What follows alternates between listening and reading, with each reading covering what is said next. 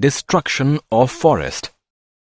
When Shyam, Ram and their uncle reached the other end of forest, they saw some people were cutting the trees. Why are you cutting these trees? We have to grow paddy in this land. Uncle told Shyam and Ram that due to growing population and increased demand of grains, the forests are being transformed into cultivation land.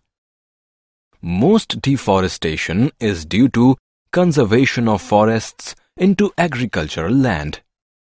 Countless cutting of trees due to logging operations lead to more destruction. The most severe impact of deforestation is the loss of habitats for millions of species. Deforestation also causes climate change because trees absorb the greenhouse gases. It leads to global warming.